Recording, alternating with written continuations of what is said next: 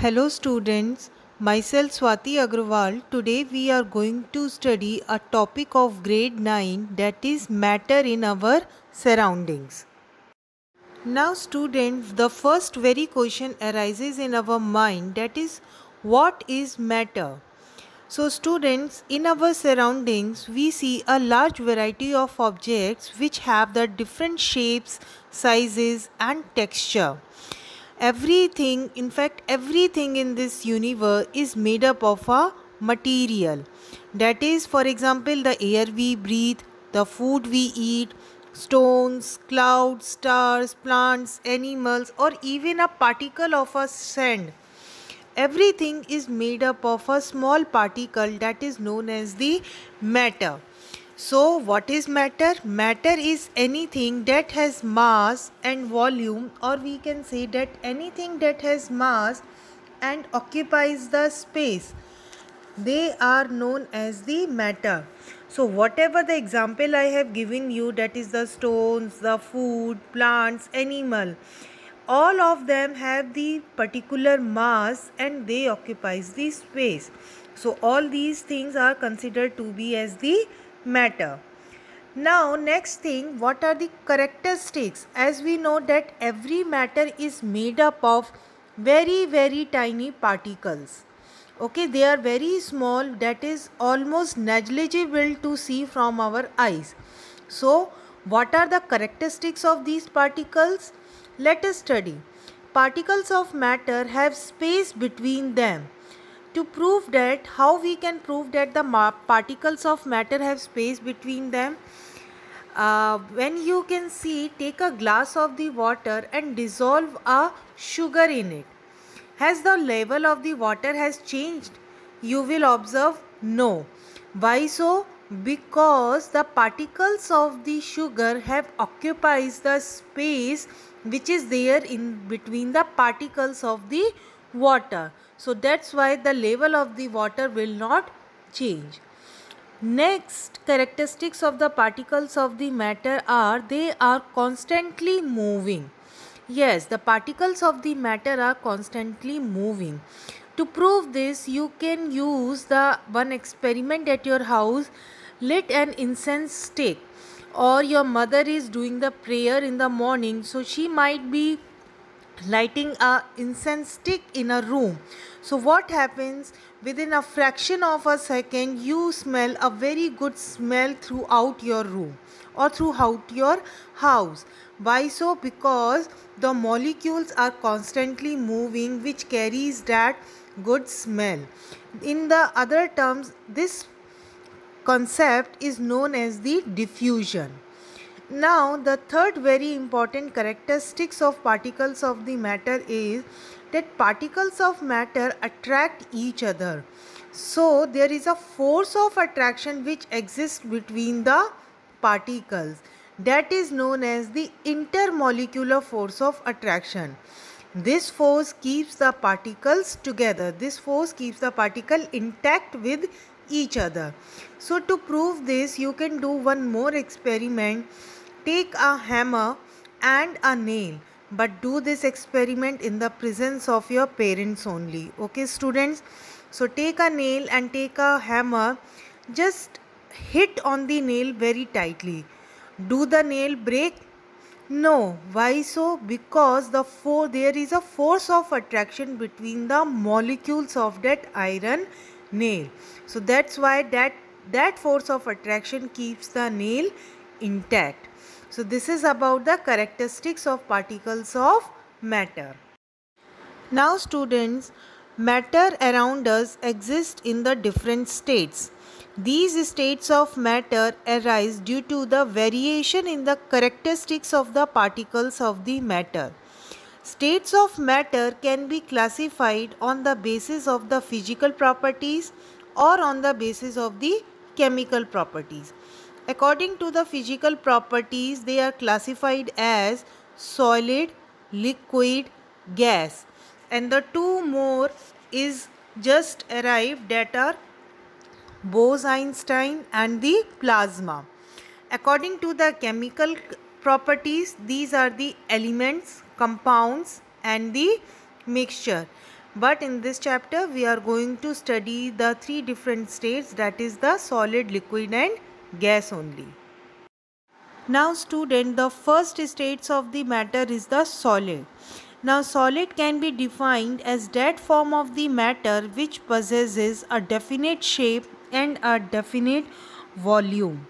That is it have the negligible compressibility. That means the solids cannot be compressed easily solids have a tendency to maintain their shape whenever an outside force is applied to them solids may break under the force but it is difficult to change their shape so they are very rigid in the nature so why all these characteristics are happening? Because of their intermolecular space and intermolecular force between the molecules. The, as you can see in the diagram, the intermolecular space between the molecule is very less and the force of attraction between the molecules of the solid is the maximum. Due to these two properties, the solids are intact, they are rigid they have the fixed shape and the volume and they cannot flow easily because their molecules are intact with each other.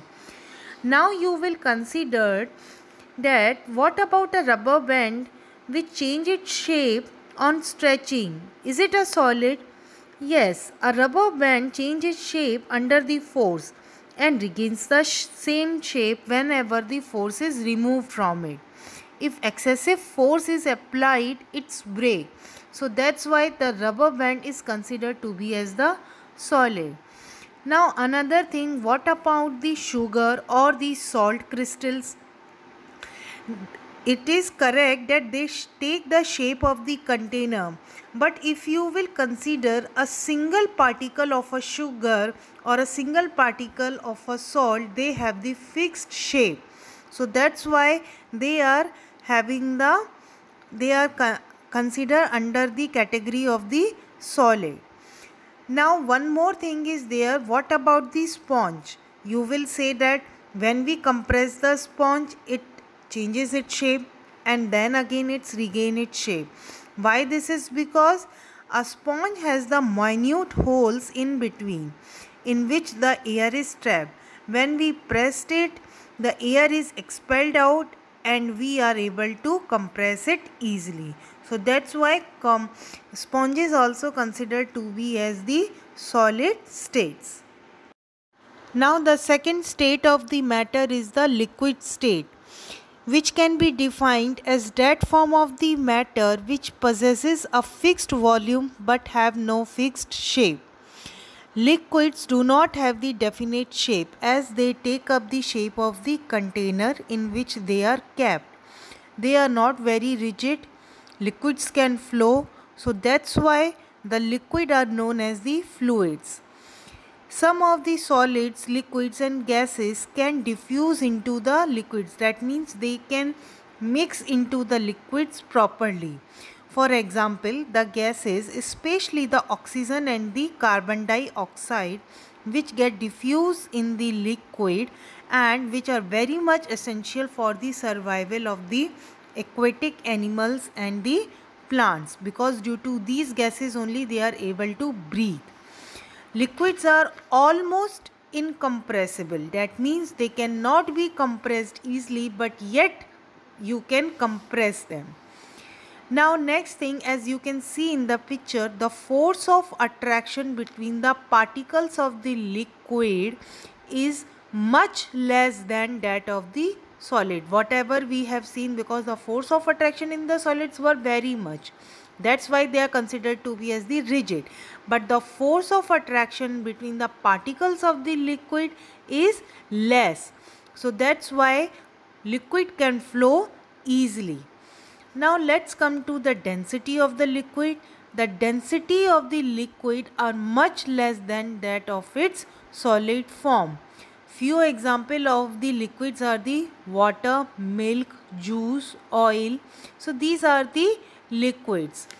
Now in easier words we can say that the liquid have no fixed shape. They don't have the fixed volume as they take up the shape of the container it can flow but they are not rigid so that's why the liquid are considered to be as the fluid the intermolecular force of attraction between the particles of the liquid is much less than that of the solids.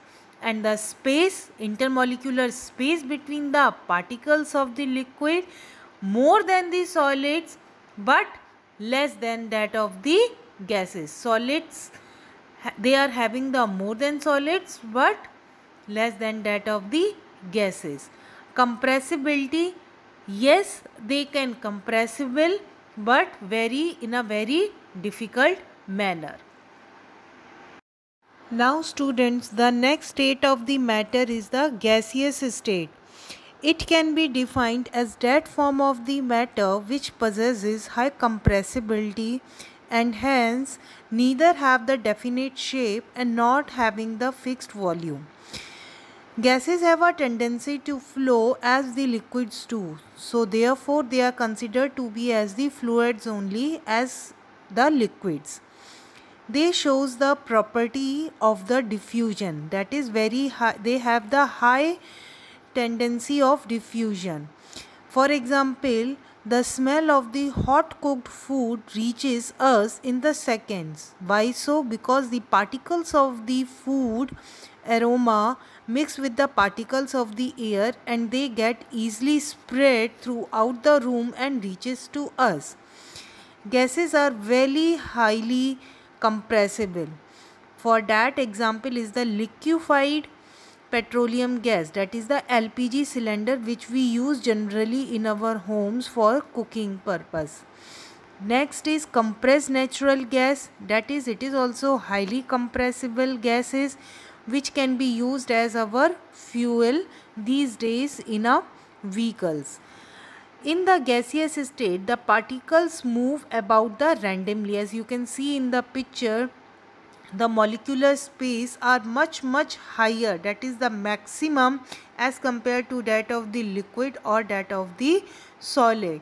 And the force of attraction is much weaker than that of the solid or that of the liquid. So that's why they the particles they move about the randomly at very high speed now the living creatures need to breathe the air for their survival so they can diffuse into the liquids easily.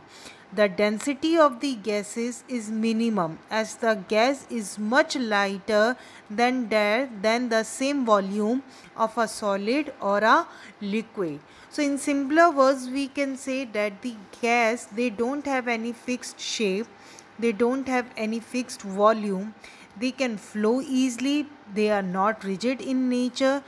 Intermolecular force between the particles of the gaseous is is negligible as compared to that of the it is or we can say it is almost negligible or it is very weak as compared to that of the solid and the liquid and the intermolecular space between the particles of the gaseous state is the maximum.